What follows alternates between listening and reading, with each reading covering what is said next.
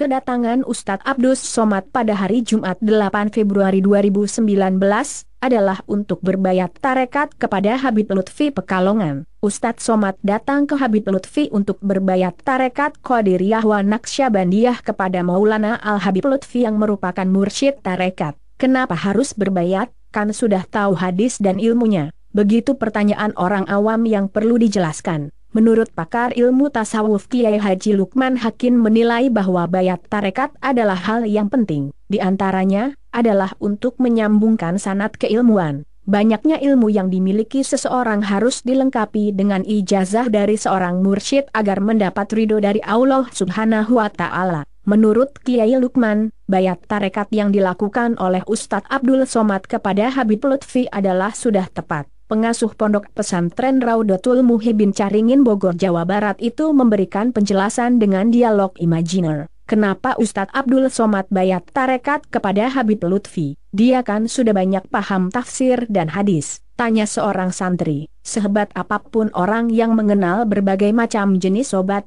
akan tetapi ia harus mendapat ijazah dokter kalau ingin buka praktek, jawab Kiai Lukman Hakim. Itu kan hanya tradisi akademis saja, tradisi yang diridhoi jelas Kiai. Seperti kabar yang beredar, Ustadz Somad mendatangi kediaman Habib Lutfi Pekalongan Jawa Tengah. Kedatangan Ustadz Abdul Somad adalah untuk berbayat tarekat Qadiriyah wa Naksabandiyah kepada Habib Lutfi yang merupakan Raisam Jamiah ahli tarekat Al-Mutabarohan Nahdiyah Jatman Nahdlatul Ulama. Selain berbayat tarekat, Ustadz Abdul Somad juga mencocokkan beberapa sanat tarekat kepada Maulana Habib Lutfi. Bahkan dalam pertemuan tersebut, Habib Lutfi memanggil Ustadz Abdus Somad dengan panggilan Syekh. Panggilan Syekh merupakan panggilan untuk orang yang mempunyai kedalaman ilmu agama.